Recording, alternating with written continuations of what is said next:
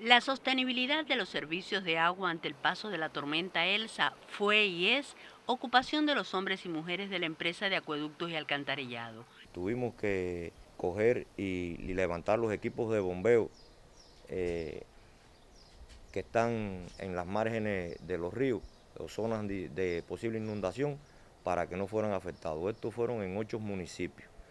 Eh, en el día de ayer, excepto Cautocristo, todo se restableció.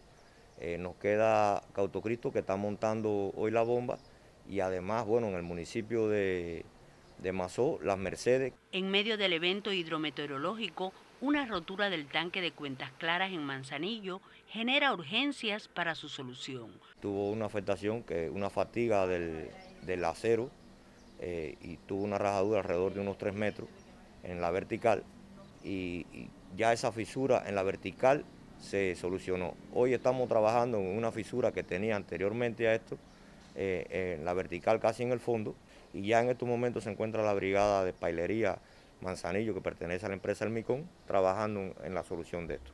Para la capital granmense, el tanque de Barrio Azul aún es una expectativa para definitivas soluciones. Eso está sometido a un sistema de inversión que ya está culminado eh, prácticamente a un noventa y tanto por ciento el tanque de Barrio Azul que distribuye la zona norte, pero que todo depende de ese tanque y la, y la distribución, por ejemplo, Casco Histórico Jesús Menéndez, depende en gran medida de la planta potabilizadora, que también se le aprobó una inversión.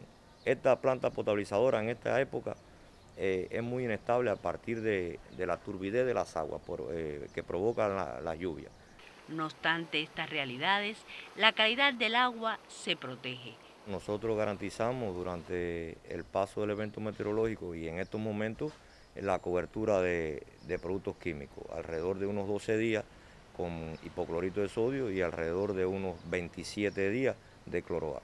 Una vez más, los eventos climatológicos ponen a prueba las capacidades de los servicios de acueducto y alcantarillado. Teresa Armesto en directo.